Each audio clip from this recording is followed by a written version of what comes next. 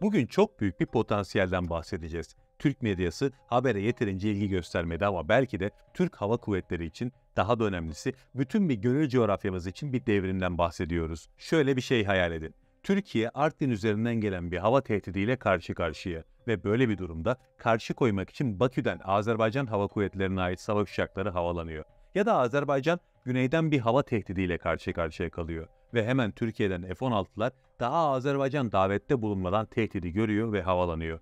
Bu etki alanını çok daha geniş bir coğrafyaya da taşıyabiliriz. Diyelim ki Türkiye Suriye'nin kuzeyine dev bir hava harekatı düzenlemiş ve Türk Hava Kuvvetleri'nin belirlediği hedeflerin bir kısmını Azerbaycan'ın savaş uçakları, bir kısmını da Pakistan'a ait uçaklar vuruyor. Ya da belki de Katar'ın uçakları. Ülkeler değişiklik gösterebilir. Ve yine ilginç bir detay olsun. Bu ülkeler belirlediğimiz bölgeleri Rusya'dan aldıkları savaş uçaklarıyla bizim NATO'ya uyumlu ürettiğimiz mühimmatları kullanarak vuruyor.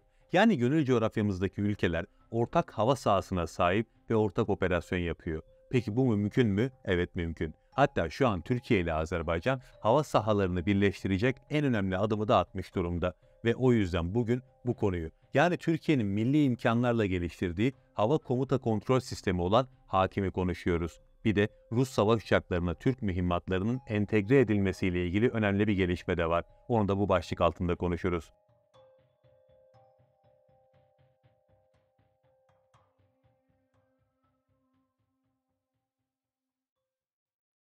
Başlamadan önce kısa bir hatırlatma yapalım. Kanalımızın büyümesi ve sesimizin daha geniş kitlelere yayılması için desteğiniz önemli. Ve bize destek vermek isterseniz kanalımıza abone olmayı ve videoyu beğenmeyi unutmayın. Şimdi konumuza devam edelim. Ülkelerin dostları olur ama kardeş ülke kavramı çok nadir ülke için kullanabildiğiniz bir kavramdır. Bizim için bu kavramı kullanabildiğimiz nadir ülkelerden biri Azerbaycan. Yani iki devlet, tek millet sözü boşuna söylenmiş bir söz değil. Bu iki devlet tek millet olduğumuz gerçeği hayatın birçok alanına iki ülke içinde yansıyor. Ama belli başlı dengeleri gözettiğimiz için askeri konuda bazı kısıtlamalara takılıyorduk. Şimdi o kısıtlamalarında yavaş yavaş kalktığını gösteren bir gelişme yaşandı. Artık iki ülkenin tek hava sahası olacak. Yani iki devlet, tek millet, tek hava sahası. Bunu da Türkiye'nin Milli Hava Komuta Kontrol Sistemi hakim sağlayacak. O yüzden öncelikle kısaca hakimin ne olduğunu konuşalım. Hakimin çalışmaları 2014 yılına kadar uzanıyor ama sözleşmesi 2020 yılında imzalandı. Türkiye'nin %100 Türk mühendisliğiyle geliştirilen ilk milli hava komuta kontrol sistemi. Yani bu sistem hava kuvvetlerimizin sahip olduğu radarların kontrol ve yönetimini gerçekleştirecek, tehditleri belirleyecek ve bu tehditlere karşı en uygun zamanda en etkin önleme unsurunu seçecek. Sistemin geliştiricisi Aselsan ve bu sistemin iki önemli özelliği var. Birincisi Türkiye'nin hem şu anki sistemleriyle hem de gelecek sistemleriyle tam uyumlu çalışacak şekilde tasarlanmış olması. Yani örnek verecek olursak biliyorsunuz şu an Türkiye ciddi bir hava savunma ağı geliştirmeye çalışıyor. Alçak ve orta irtifadaki Hisar sistemleri tamamlandı. Uzun menzilli siper hava savunma sistemi de ciddi bir noktaya getirilse de daha tam olarak tamamlanmadı. İşte hakim bugün Hisar A ve Hisar O sistemleriyle tam entegre çalışabildiği gibi yarın siper sistemiyle de tam entegre çalışacak. İkinci önemli özelliği de ki bence bu çok çok önemli. Bu sistem yurt dışı versiyonuyla Doğu bloğu radar ve silah sistemleriyle tam entegre olarak çalışabilecek bir altyapıya sahip. Bu neden önemli? Dünyada Rusya'nın savaş uçaklarını kullanan çok fazla ülke var. Hatta NATO üyesi olmasına rağmen Rus savaş uçağı kullanan ülke sayısı da oldukça fazla. Haliyle bu sistemin onlara da hitap ediyor olması hem ihracatta hem de etki alanı anlamında Türkiye'nin gücüne güç katacak.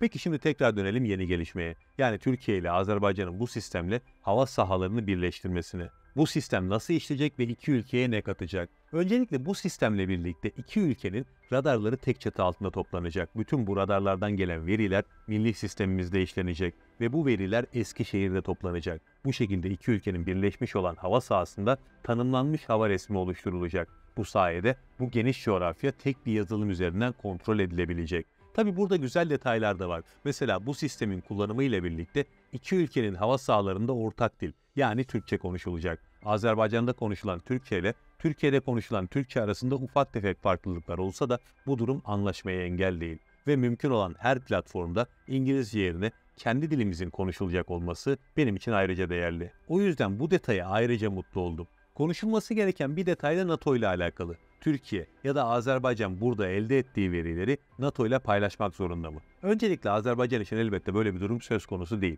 Çünkü Azerbaycan NATO üyesi değil. Ayrıca kullandığı silah sistemlerinin büyük çoğunluğu Sovyet sistemleri. Ama Türkiye NATO üyesi. Yani NATO'ya bilgilerin aktarılıp aktarılmayacağı meselesi daha çok Türkiye üzerinden konuşulmalı. Ama böyle bir zorunluluk yok. Zaten şu anda da Türkiye elde ettiği bütün verileri NATO'ya aktarmıyor. NATO ile bilgi paylaştığımız radarlar olduğu gibi bilgi paylaşımına kapattığımız radarlar da var. Bilgi paylaştığımız radarlarda da her şeyi NATO ile paylaşmak zorunda değiliz. Şu an radarlarımızda elde ettiğimiz sinyaller Eskişehir'de toplanıyor. Oradan Almanya'daki NATO karargahına aktarılıyor. Ama bu yapılırken bütün sinyaller aktarılmıyor. Mutlaka filtreleniyor. Yani NATO üyesi olmamız, NATO ile ilgili bilgi paylaştığımız radarlarda bile bize tam anlamıyla bir zorunluluk dayatmıyor. Haliyle hakim sisteminde de böyle bir zorunluluk olmayacak. Türkiye'de, Azerbaycan'da eğer isterse NATO ile bilgi paylaşacak, istemezse böyle bir zorunlulukları elbette yok. Peki hakim sisteminin devreye girmesi iki ülkenin ortak hava harekatları düzenleyeceği anlamına gelir mi? Yani videonun başında oluşturduğumuz senaryolar geçerli mi? Şu an için yani ilk etapta böyle bir durum söz konusu değil ama elbette daha sonrasında bu mümkün. Hatta hakim sisteminin ihracat potansiyelini düşünürsek bahsettiğimiz ortak hava sahası çok daha genişleyecektir. Pakistan, Katar gibi ülkelerde bu sisteme dahil olacaklardır. Bu da aslında bir nevi Türkiye'nin çok geniş bir bölgede erken ihbar radarlarına sahip olması anlamına gelecek. Tabi Türkiye gibi katılımcı diğer ülkelerinde. Yani hakim aslında hayalini kurduğumuz askeri potansiyeli bize sunuyor. Yani İslam dünyasının tek çatı altında toplanması hayalinin bir parçası olarak görebiliriz. Ve bu konuyla ufaktan da olsa bağlantılı diyebileceğimiz bir gelişme daha yaşandı. Türkiye Rus uçağından NATO mühimmatı fırlattı. Bu aslında iki ay öncesinin haberi ama bugünkü haberle birlikte okunduğu zaman daha değerli hale geliyor. Biliyorsunuz Konya'daki Anadolu Kartalı tatbikatı artık dünyada ismi markalaşan havacılık tatbikatlarından biri. Bu yılda yine çok ses getirdi. Ama tatbikattaki en önemli gelişmelerden biri KGK yani kanatlı güdüm kiti ile ilgiliydi.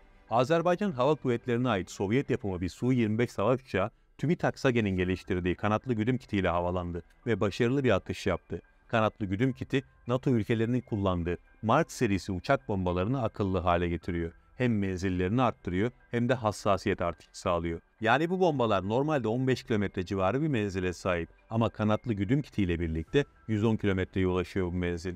Bu gelişme önemli çünkü bizim gönül coğrafyası dediğimiz coğrafyada yani hakim hava komuta kontrol sisteminin kullanılma ihtimali olan coğrafyada Rus savaş uçağı kullanımı yaygın ve Rus savaş uçaklarında da hassas güdümlü mühimmat kullanımı yaygın değil. İşte KGK bu uçaklara hassas güdüm imkanı sağlıyor. Yani ileride hakim üzerinden bu ülkeler Türkiye ile bir ortak operasyona niyetlendiğinde hassas güdümlü mühimmat kullanabilecekler ve onu da onlara Türkiye sağlayacak. Yani kısaca özetlersek Türkiye'nin Milli Hava Komuta Kontrol Sistemi sayesinde Türkiye ile Azerbaycan hava sahasını birleştirdi. Ama bu bence çok daha büyük bir planın bir parçası ve bu planın kapsamında gönül coğrafyamız yani kardeş ülkelerimizin tamamı var. Yani bir başka deyişle hayal ettiğimiz birliğin en önemli adımı bu şekilde atılmış oldu. İnşallah bu adımı çok daha ilerilere taşıyacağız. Türkiye'nin planı büyük ve tıkır tıkır işliyor. Yakın zamanda çok şaşıracağımız gelişmelere şahitlik edeceğiz. Allah'a emanet olun.